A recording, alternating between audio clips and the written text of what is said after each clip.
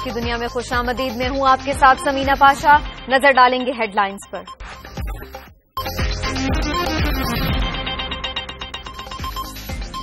लाड़काना के हल्के एनए 204 की सियासत में हलचल। बिलावल भुट्टो जरदारी के मुकाबले में फातिमा भुट्टो को जिमनी इलेक्शन लड़ाने की तैयारियाँ।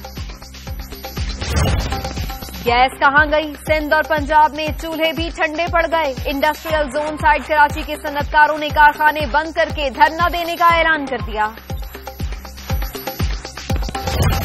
इस्लामाबाद हाई कोर्ट ने चेयरमैन पैमरा चौधरी रशीद को अहदे पर बहाल कर दिया। बरतरफी का नोटिफिकेशन कल अदम मुकर्रा तारीखों पर सिंध और पंजाब में बल्दियाती इंतबात मुमकिन नहीं। इलेक्शन कमीशन का ऐलान। कायमा कमेटी बराए पार्लिमानी उमूर ने इलेक्शन मार्च में कराने की तजवीज दे दी। मुस्लिम लीग काफ ने सिंध में बल्दियाती इंतबात का बॉयकॉट कर दिया। हलीम आदिल शेख कहते हैं 11 मई की तरह 18 जनवरी को भी सिर्फ़ टोपी ड्रामा होगा। लंदन से लाहौर के लिए परवाज। दो दिन गुजरने के बाद भी रवाना नहीं हो सकी। हीथ्रो एयरपोर्ट पर पीआईए के अमले और मुसाफिरों में तल्ख कलामी हंगामा आरआई पर पुलिस तलब।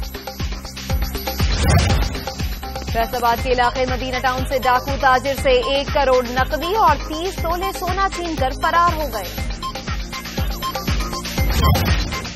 और अमरीकी चिड़ियाघर में खाना लाने वाले निगरान से सी लाइन्स की मोहब्बत। इंटरनेट पर मकबूल।